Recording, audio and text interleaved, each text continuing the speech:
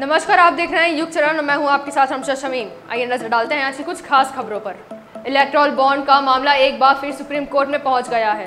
NGO, common cause और centre for public interest litigation ने bond के लेन देन को लेकर सुप्रीम कोर्ट की निगरानी में एसआईटी जाँच की मांग की है। इस पर आज, यानी 25 जुलाई को सुनवाई होनी है। सुनवाई CGI DY Chandrachud, justice J B Pardiwala और जस्टिस मनोज मिश्रा की बेंच करेगी। दोनों एनजीओ की ओर से एडवोकेट प्रशांत भूषण ने ये याचिका लगाई है। कोर्ट ने याचिका स्वीकार करते हुए कहा कि इससे जुड़ी बाकी याचिकाओं को भी एक साथ सुना जाएगा। मार्च 2024 में इलेक्ट्रॉल बॉन्ड का डेटा सामने आने के बाद ये याचिका लगाई गई। इसमें दो मांगे रखी गई हैं। पहला, इलेक्ट्रॉल बॉन्ड के ज़रिए कॉरपोरेट्स और राजनीतिक दलों के बीच लेन देन की जाँच एसआईटी से कराई जाए। एसआईटी की निगरानी सुप्रीम कोर्ट के रिटायर्ड जज करें। दूसरी मांग है कि आखिर घाटे में चल रही कंपनियों ने पॉलिटिकल पार्टीज़ को कैसे फंडिंग दी? अधिकारियों को निर्देश दिया जाए कि पॉलिटिकल पार्टियों से इलेक्ट्रल बॉन्ड में मिली राशि वसूल करें, क्योंकि अपराध के ज़रिए कमाई गई राशि है। याचिकाकर्ताओं का दावा है कि कंपनियों ने फ़ायदे के लिए पॉलिटिकल पार्टियों को बॉन्ड के ज़रिए फंडिंग दी। इसमें सरकारी काम के ठेके, लाइसेंस पाने, जाँच एजेंसियों की जाँच से बचने और पॉलिसी में बदलाव शामिल है। आरोप है कि घटिया दवाइयाँ बनाने वाले कई फार्मा कंपनियों ने इलेक्ट्रॉल बॉन्ड खरीदे, जो भ्रष्टाचार निवारण अधिनियम उन्नीस सौ अठासी का उल्लंघन है। यूपी सरकार संविदा और आउटसोर्सिंग से भरे जाने वाले पदों में जल्द रिजर्वेशन देने की तैयारी कर रही है। इस मसले को लेकर सरकार पर कई नेता दबाव बना रहे हैं। मौके की नजाकत देखते हुए सरकार ने आरक्षण व्यवस्था बहाल करने का मन बना लिया है। विधानसभा की 10 सीटों पर होने वाले उपचुनाव से पहले आरक्षण व्यवस्था लागू हो सकती है। संविदा और आउटसोर्सिंग से होने वाली भर्ती में आरक्षण का मसला विधानमंडल की समिति ने उठाया था। इसके बाद से ये तुल पकड़ रहा है। विपक्ष भी इस मुद्दे पर सरकार को घेर रहा है।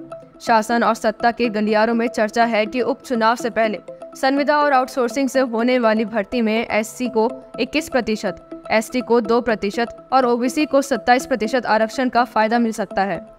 उत्तर प्रदेश सरकार ने विभागों में आउटसोर्सिंग नियुक्तियों के संबंध में आंकड़े आने शुरू हो गए हैं। सूचना विभाग में छह सौ छिहत्तर में से 512 आरक्षित वर्ग के आउटसोर्सिंग कर्मचारी हैं। इनमें से 340 सिर्फ़ ओबीसी वर्ग के हैं। ये संख्या पिछहत्तर प्रतिशत के आसपास है, जबकि अभी इसमें आरक्षण का नियम लागू नहीं है। सरकार एक बार आंकड़े जुटा ले, फिर जवाब देगी कि अभी इसमें किस आरक्षित वर्ग के कितने कर्मचारी हैं। आउटसोर्सिंग और संविदा भर्ती नियुक्ति विभाग नहीं करता है। जिस किसी विभाग में संविदा और आउटसोर्सिंग कर्मचारियों की ज़रूरत होती है, वह खुद अपने स्तर से भर्ती करते हैं। यूपी में सबसे ज़्यादा आउटसोर्सिंग कर्मचारी चिकित्सा, नगर और ग्रामीण विकास में है, लेकिन तीनों विभागों में आउटसोर्सिंग कर्मचारियों के आंकड़े जारी नहीं हुए हैं। कर्नाटक के मुख्यमंत्री सिद्धारमैया पर एमयूडीए घोटाले में शामिल होने के आरोप लगे हैं। इसी मुद्दे पर विधानसभा में चर्चा की मांग को लेकर विपक्षी दल बीजेपी और जीडीएस के विधायकों ने विधानसभा भवन में रात भर धरना किया। बीजेपी की तरफ़ से जारी एक वीडियो में विधानसभा में नेता प्रतिपक्ष आर अशोक समेत अन्य नेता असेंबली में सोते नज़र आ रहे हैं। विपक्ष का कहना है कि एमयूडीए घोटाले में मुख्यमंत्री सिद्धरमैया और उनके परिवार के अन्य लोगों का नाम भी शामिल है। उन्होंने विधानसभा सत्र के दौरान इस पर चर्चा की मांग की थी। अनुमति नहीं मिलने पर कांग्रेस सरकार, सीएम और विधानसभा स्पीकर यूटी खादर के खिलाफ नारेबाजी करते हुए धरने पर बैठ गए। विपक्षी दलों का कहना है कि वे गुरुवार को भी विरोध जारी रखेंगे। विपक्षी दलों का साथ में कहना है कि एमयूडीए घोटाले में शक की सुई राज्य के सबसे महत्वपूर्ण व्यक्ति के परिवार की तरफ़ इशारा कर रही है। उन्होंने मामले में जाँच में गड़बड़ी के भी आरोप लगाए। साथ ही जाँच के लिए बनी कमेटी को भी राजनीतिक लाभ से प्रेरित बताया। इससे पहले एमयूडीए से मुआवजे के लिए फर्जी दस्तावेज़ तैयार करने के आरोप में कर्नाटक के मुख्यमंत्री सिद्धरमैया और नौ अन्य के खिलाफ शिकायत दर्ज की गई थी। सामाजिक कार्यकर्ता स्नेहमयी कृष्णा ने सिद्धरमैया, उनकी पत्नी पार्वती, साले मल्लिकार्जुन स्वामी, जमींदार देवराज और छह अन्य के खिलाफ शिकायत दर्ज कराई है। शिकायत में डिप्टी कमिश्नर, तहसीलदार, डिप्टी रजिस्ट्रार और एमयूडीए अधिकारियों के भी नाम शामिल हैं।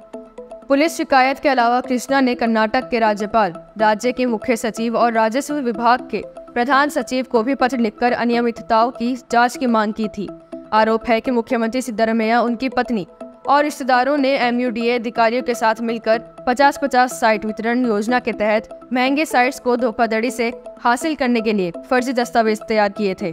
अमेरिका में राष्ट्रपति पद के चुनाव से अपना नाम वापस लेने के बाद गुरुवार को बाइडेन ने ओवल ऑफ़िस से संबोधन दिया। उन्होंने कहा, मैं नई पीढ़ी को मशाल सौंपना चाहता हूँ। चुनावी सर्वे में मेरी हार का आकलन किया गया था। इससे परेशान होकर रेस छोड़ने का फैसला लिया है। मैं अपने साथ डेमोक्रेटिक पार्टी के साथियों को हार की तरफ़ नहीं खींच सकता। उन्होंने कहा, नई पीढ़ी को मशाल सौंपना हमारे राष्ट्र को एकजुट करने का सबसे अच्छा तरीका है। मैं राष्ट्रपति पद का सम्मान करता हूँ, लेकिन मैं अपने देश के ज़्यादा प्यार करता हूँ।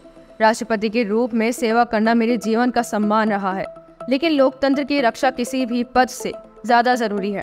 मुझे अमेरिकियों के लिए काम करने में खुशी मिलती है। अपनी 11 मिनट की स्पीच के दौरान बाइडेन ने राजनीति में अपने कदम रखने के बारे में भी बात की। उन्होंने कहा, आपने एक हकलाने वाले बच्चे को अपनी जगह बनाने का मौका दिया। फिर उसे अमेरिकी राजनीति के शिखर पर पहुँचाया। मैं इसके लिए सबका शुक्रगुजार हूँ। मैंने अपने जीवन के 11 साल देश की सेवा में दिए हैं। यह सिर्फ़ अमेरिका में ही हो सकता है। राष्ट्रपति बाइडेन का ओवल ऑफ़िस से चौथा संबोधन था। इससे पहले ट्रंप पर जानलेवा हमले के बाद भी बाइडेन ने ओवल ऑफ़िस से स्पीच दी थी। बुधवार को उनके एड्रेस के दौरान पत्नी जिल बाइडेन, बेटी एशन बाइडेन, बेटा हंटर बाइडेन समेत बाइडेन के नाती और पोते भी वहाँ मौजूद रहे। बाइडेन की सीट के पीछे भी परिवार के साथ उनकी अलग अलग तस्वीरें रखी हुई थी। राष्ट्रपति की स्पीच खत्म होने पर उनके परिजनों की आँखें नम हो गई। बेटी ऐसे ने बाइडेन को गले भी लगाया। मध्य प्रदेश के धार की भोजशाला पर हिंदू और मुस्लिम समाज के बाद अब जैन समाज ने भी दावा किया है। जैन समाज ने 22 जुलाई को सुप्रीम कोर्ट में याचिका दायर कर समाज को तीसरी पार्टी के रूप में शामिल करने की अपील की है। इसकी खबर बुधवार को सामने आई। याचिका में कहा गया है, सुप्रीम कोर्ट इस मामले में जैन समाज का पक्ष भी सुने, क्योंकि ब्रिटिश म्यूज़ियम में जो मूर्ति है, वह जैन धर्म की देवी अंबिका की है, वागदेवी की नहीं। भोजशाला में एएसआई के वैज्ञानिक सर्वे में भी बहुत सी मूर्तियाँ निकली हैं। वह भी जैन धर्म की संबंधित है। भोजशाला विवाद पर हाई कोर्ट में मई 2022 से सुनवाई चल रही है। 21 मार्च 2024 को हाई कोर्ट ने एएसआई से सर्वे कराने का आदेश दिया। यह सर्वे 100 दिन चला। 15 जुलाई को एएसआई ने सर्वे रिपोर्ट हाई कोर्ट में पेश कर दी। 22 जुलाई को मामले में सुनवाई हुई। हिंदू पक्ष ने कोर्ट को बताया कि उनकी तरफ़ से सुप्रीम कोर्ट में याचिका लगा दी गई है। इसमें एएसआई रिपोर्ट का हवाला देकर भोजशाला हिंदू पक्ष को देने की मांग की गई। इस पर 30 जुलाई को सुनवाई होनी है। इसके बाद हाई कोर्ट ने कहा कि सुप्रीम कोर्ट का फैसला आने तक सभी को इंतज़ार करना होगा। जैन समाज के याचिकाकर्ताओं, सलेख चंद्र जैन ने कहा कि भोजशाला जैन समाज की है। समाज को पूजा का अधिकार मिले और इसे समाज को सौंपा जाए। उन्होंने कहा कि 1875 में खुदाई के दौरान भोजशाला से वागदेवी की मूर्ति निकली थी, लेकिन दरअसल वह जैन धर्म की देवी अम्बिका की मूर्ति है। खनिजों पर वसूले जाने वाले रॉयल्टी खान एवं खनिज अधिनियम उन्नीस सौ सत्तावन के तहत टैक्स है या नहीं, इस पर आज सुप्रीम कोर्ट अपना फैसला सुनाएगा। साथ ही कोर्ट निर्णय करेगा कि क्या केंद्र के साथ ही राज्यों को भी अपने क्षेत्र में खनिज युक्त भूमि पर टैक्स वसूली करने का अधिकार है। इससे पहले चीफ जस्टिस डीवाई चंद्रचूड़ की अध्यक्षता वाली नौ जजों की बेंच ने राज्य सरकारों, खनन कंपनियों और सार्वजनिक क्षेत्र के उपक्रमों की ओर से दायर छियासी याचिकाओं पर आठ दिन तक सुनवाई के बाद 14 मार्च को फैसला सुरक्षित रख लिया था।